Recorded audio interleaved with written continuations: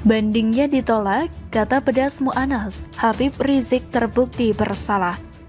Pengacara Mu'anas Alaidit ikut merespon keputusan Majelis Hakim Pengadilan Tinggi DKI Jakarta yang menolak banding yang dilayangkan kubu eks pentolan FPI Habib Rizik Syihab. PT menguatkan HRS terbukti bersalah. Cuitannya dalam akun Twitternya seperti dilihat pada Kamis 5 Agustus 2021. Sebelumnya diketahui, Rizik Syihab tetap dipidana 8 bulan penjara dengan dikurangi masa tahanan di Rutan Mabes Polri. Mengadili, menguatkan putusan Pengadilan Negeri Jakarta Timur tanggal 27 Mei 2021 nomor 221 garing pit titik sus garing 2021 garing Pengadilan Negeri Jakarta Timur yang dimintakan banding tersebut menetapkan lamanya terdakwa berada dalam masa penahanan dikurangkan seluruhnya dengan pidana yang dijatuhkan. Demikian amar putusan tersebut dikutip pada Rabu 4 Agustus. Tidak hanya itu, berdasarkan putusan yang diketok pada Rabu siang tadi, Majelis Hakim Pengadilan Tinggi DKI Jakarta juga memutuskan terdakwa tetap ditahan, memerintahkan agar terdakwa tetap ditahan, membebankan kepada terdakwa untuk membiayai biaya perkara pada kedua tingkat peradilan yang untuk tingkat banding sebesar Rp5.000. Tulis putusan tersebut.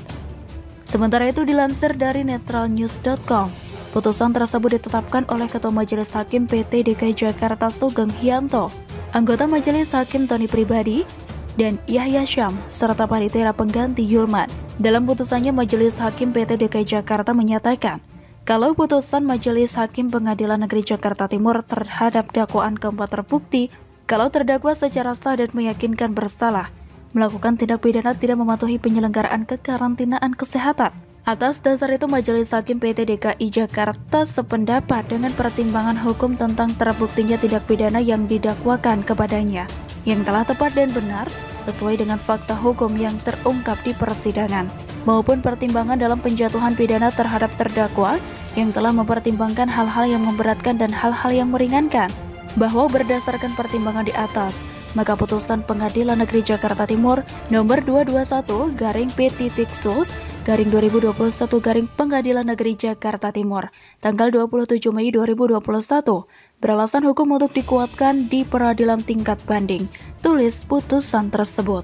Tidak hanya itu, selama proses pemeriksaan perkara ini, terdakwa ada dalam tahanan rutan dan tidak terdapat alasan untuk dikeluarkan dari tahanan tersebut. Atas dasar itu, lamanya terdakwa ada dalam tahanan dikurangkan seluruhnya terhadap pidana yang dijatuhkan dan menetapkan agar terdakwa tetap berada dalam tahanan rutan atau rumah tahanan negara bahwa oleh karena terdakwa pada putusan pengadilan tingkat pertama dinyatakan bersalah dan dijatuhi pidana dan putusan tersebut di pengadilan tingkat banding dikuatkan, maka kepada terdakwa dibebani untuk membayar biaya perkara pada kedua tingkat peradilan yang untuk di tingkat banding sebesar yang disebutkan dalam amar putusan. Tutupnya. Sebelumnya, Anggota kuasa hukum Muhammad Rizik Syihab atau MRS Aziz Yanwar menyampaikan, pihaknya telah menyerahkan kontra memori banding perkara pelanggaran protokol kesehatan yang menimbulkan kerumunan di Petamburan dan Megamendung ke Pengadilan Tinggi DKI Jakarta. Penyerahan kontra memori banding itu dilayangkan pada hari ini pada Kamis 22 Juli 2021. Penyerahan kontra memori banding itu juga dilayangkan untuk terdakwa lima mantan petinggi Front Pembela Islam lainnya yang juga merupakan terdakwa. Kami telah menyerahkan kontra memori banding ke PT DKI Jakarta untuk perkara nomor 221, 222 atau perkara Petamburan, dan 226 atau perkara Megamendung, kata Aziz saat dikonfirmasi pada Kamis 22 Juli 2021.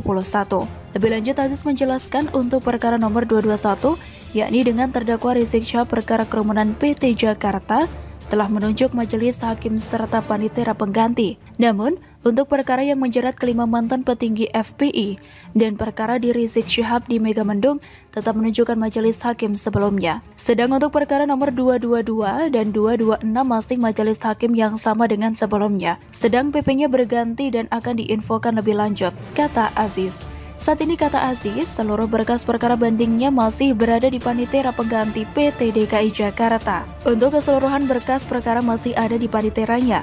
Sedang untuk penangguhan masih dalam proses demikian, kata Aziz. Sementara untuk perkara Rizik Syihab lainnya yakni kasus swab tes di Rumah Sakit Umi kata Aziz masih dalam proses perampungan. Rumah sakit Umi belum, segera diselesaikan. Tugas Aziz. Sekedar informasi, dalam perkara kerumunan di Petamburan, Rizik tercatat dalam perkara nomor 221. Sedangkan untuk perkara kerumunan di Megamendung, ex imam besar FPI itu tercatat dalam nomor perkara 226. Dan untuk perkara swab tes rumah sakit Umi tercatat dalam perkara nomor 225. Selanjutnya, untuk lima mantan petinggi FPI yakni Haris Ubaidillah, Ahmad Sabri Lubis, Ali Alwi Alatas, Idrus Al-Habsyi, dan Maman Suryadi terjerat dalam kasus kerumunan di Petamburan dengan nomor perkara 222. Diketahui, dalam perkara kerumunan orang pada acara Maulid Nabi Muhammad SAW dan pernikahan putrinya, Rizik Syihab difonis hukuman 8 bulan penjara oleh Majelis Hakim Pengadilan Negeri Jakarta Timur. Fonis tersebut juga dijatuhkan kepada lima mantan petinggi Front Pembela Islam yang diketahui menjadi panitia dalam gelaran acara tersebut. Sedangkan untuk perkara kerumunan orang di Pondok Pesantren Markas Syariah Megamendung Bandung, Muhammad Rizik Syihab difonis denda 20 juta subsidiar 5 bulan penjara. Bagaimana menurut Ekonomi melesat, Jokowi tampar buacot Fadlizon, Demokrat Rizal Ramli. Ditulis oleh Nina Nur di siwar.com. Bicara soal pandemi, beberapa kali saya membaca ucapan syukur yang dilontarkan oleh netizen. Bersyukur bahwa pandemi global berlangsung ketika presidennya adalah Jokowi. Mungkin memang sudah takdir. Kebayang, kalau pandemi berlangsung di masa SBY, mengatasi kebakaran hutan saja nggak sanggup, membangun wisma atlet saja nggak selesai alias mangkrak. Dan ketika sekarang ada pandemi, Demokrat sangat gencar menyuarakan lockdown.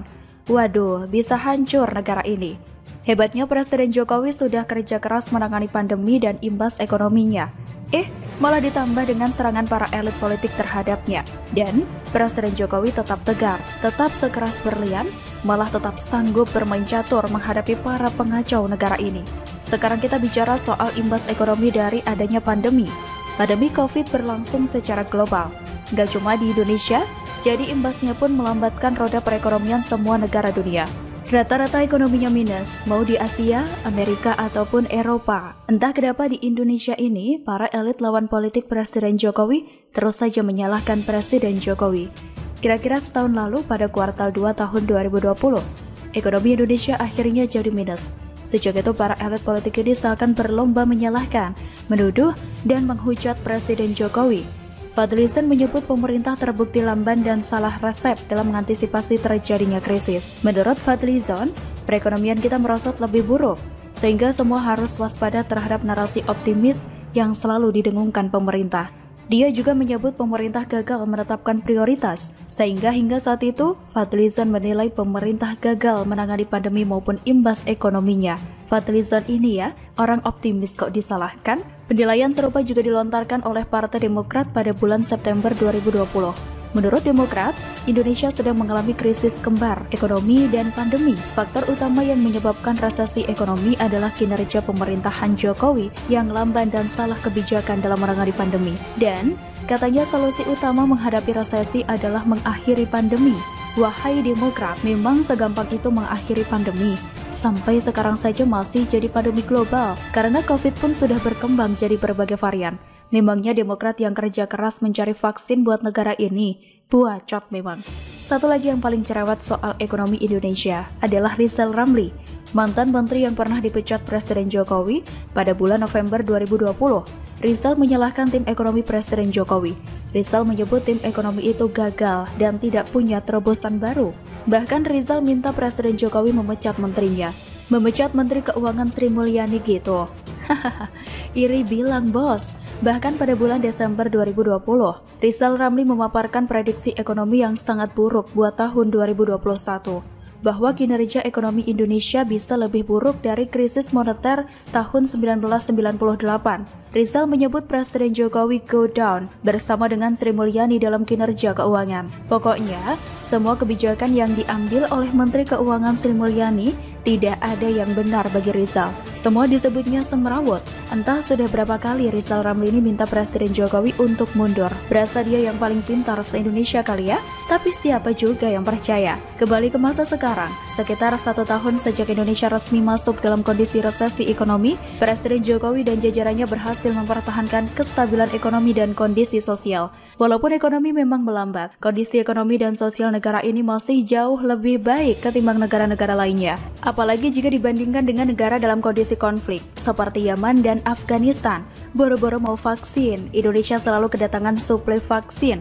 Berkat kerja keras Presiden Jokowi dan jajarannya, kita sudah dalam jalur yang benar menuju kekebalan kelompok yang akan sangat menunjang pergerakan ekonomi. Bagaimana dengan pertumbuhan ekonomi?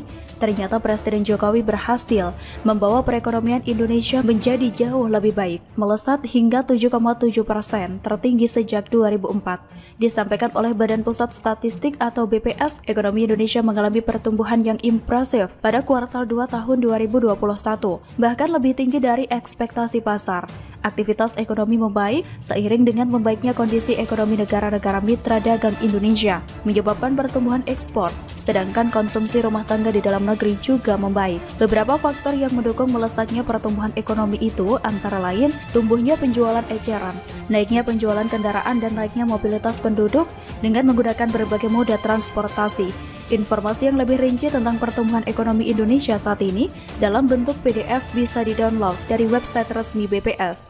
Gimana Fadlizon, Demokrat dan Rizal Ramli saya lihat di berita Fadlison sok sibuk mengurusi kenapa Wakil Presiden Amerika Serikat Kamala Harris tidak mengunjungi Indonesia. Partai Demokrat masih saja mengurusi warna cat pesawat kepresidenan. Sedangkan Rizal Ramli mengaku diserang buzzer. Nggak ada satupun yang berani mengakui kehebatan pencapaian Presiden Jokowi atas melesatnya ekonomi Indonesia.